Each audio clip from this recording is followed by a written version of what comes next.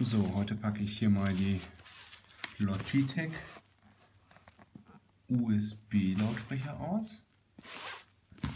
Die Modellnummer ist relativ gut versteckt. Das ist die, sind die S150, relativ günstige Lautsprecher, die zumindest in meiner Erwartungshaltung keinen Stromstecker besitzen. Gucken wir uns gleich mal an. Was haben wir hier?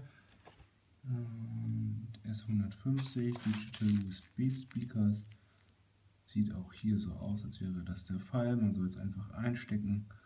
Man muss keine große Installation machen. Stromzufuhr über das USB-Kabel.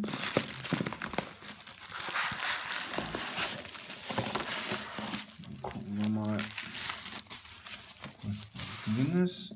Der Karton ist leer sehr unauffällig der Karton als solcher. Und dann haben wir hier zwei relativ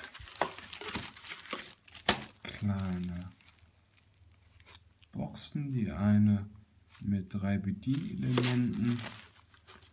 Das Ganze ist hier in einer Folie versteckt. Wir haben die Beschriftung, das sieht man hier weniger gut versuche es mal ein bisschen Plus, Minus und Mute. Das sind die drei Stück. Äh, von den Anschlüssen spartanisch, sprich nur ein Verbindungskabel zwischen den beiden. Und hier in der Mitte haben wir dieses USB-Kabel.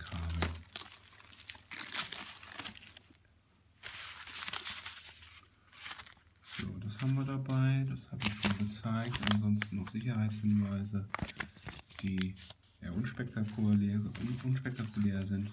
Insofern war es das schon. Vielen Dank.